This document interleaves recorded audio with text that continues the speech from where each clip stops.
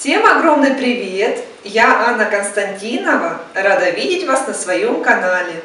В этом видео я покажу, как сделать потрясающую лисичку из фетра своими руками. Для работы нам понадобятся следующие материалы. Мягкий фетр нескольких цветов толщиной 1 мм, ножницы, нитки для шитья, иголка, наполнитель для игрушек, декоративный шнур для подвеса, глазки диаметром 6 мм, носик 8 на 6 мм, контур по ткани оранжевый, красный или розовый, лента шириной 0,6 см, клей-пистолет и выкройка. Вырезала все детали по шаблону. Фетр должен быть мягкий, толщиной 1 мм. Первым делом я пришью белую деталь к основной верхней детали. Ее можно просто приклеить на клей-пистолет или пришить на швейной машинке. Я шью все вручную. Эта выкройка платная, цена небольшая 200 рублей. Приобрести ее можно по электронной почте. Оплату можно произвести по номеру карты, которая будет в описании под видео. Просто напишите мне «Хочу выкройку». Далее в этом же письме прикрепляете скриншот игрушки, на которую хотите получить выкройку, и чек, и отправляете мне письмо, а я в ответ присылаю вам выкройку. Также приглашаю вас на свой канал в Дзен и группу ВКонтакте «Валяшки». Там вы найдете много всего интересного. Ссылки на них будут в описании. Также на этом этапе пришиваю голубые глазки. Я их обшиваю черными нитками. Шью в одну нитку, то есть имитирую радужку. Спасибо огромное всем спонсорам, которые поддерживают мой канал. Так я понимаю, что мое творчество вам нравится, и это мотивирует меня работать дальше.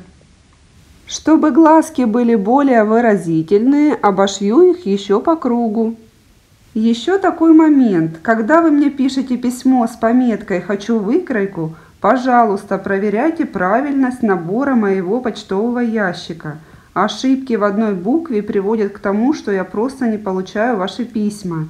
Я ежедневно проверяю свою почту и отвечаю на ваши письма. Поэтому, если кто-то не получил выкройку, напишите мне повторно на правильный почтовый ящик.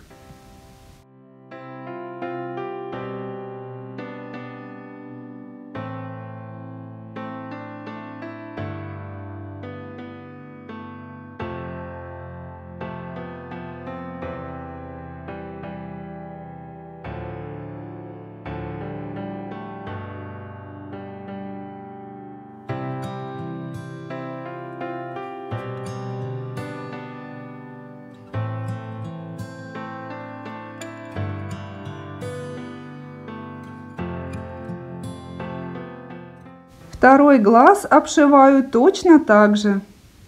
Все подготовила, пришила еще кончики лапок и кончик хвоста к основным деталям. Вот что у меня получилось.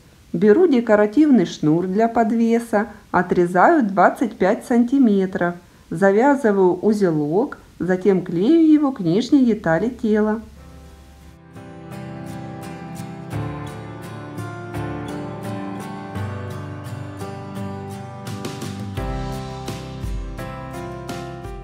Накладываю одну деталь на другую и сшиваю тело обметочным швом. Глубина моих стежков 1 или 1,5 мм.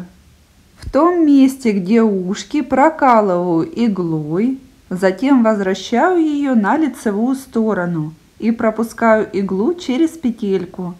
Прокалываю иглой, затем возвращаю на лицевую сторону и пропускаю иглу через петельку.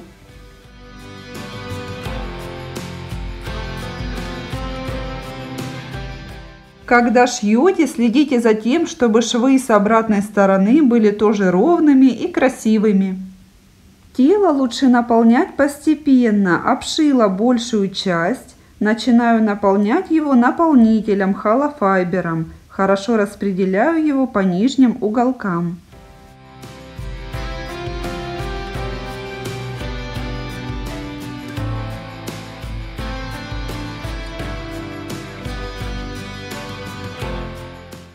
Обшила и наполнила тело, завязываю два узелка. А теперь внимание, главный секрет невидимых узелков. Прокалываю иглой около узелков насквозь и вывожу в любом месте игрушки. Узелков вообще не видно. Основа готова, перехожу к мелким деталям. Далее накладываю одну деталь на другую и сшиваю нос обметочным швом. Если вам нужен вариант попроще, то нос и лапки можно сделать плоскими из глиттерного фоамирана. Тоже будет очень красиво.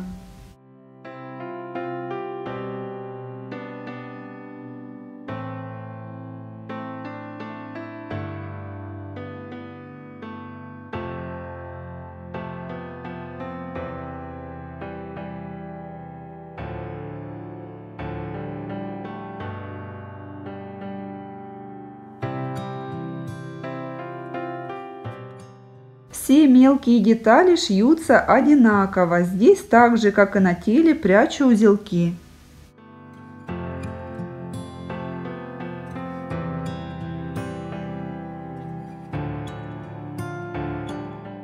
Аналогичным образом сшила лапки в зеркальном отражении и хвостик. Все мелкие детали готовы, пора собирать нашу лисичку. Клею все детали на клей-пистолет. Клея наносите немного, чтобы он не вылез.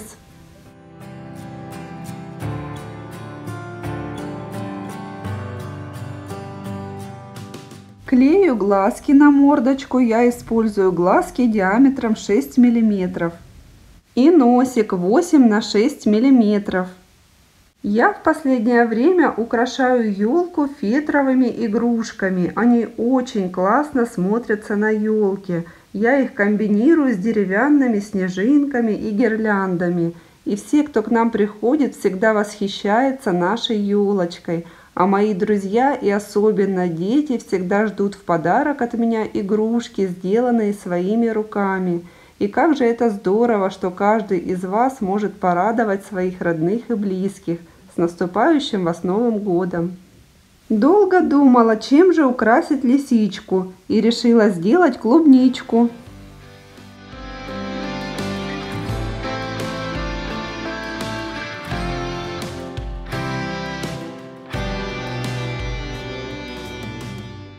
Кстати, лисичку можно украсить ярким сочным лимончиком, тоже смотрится неплохо.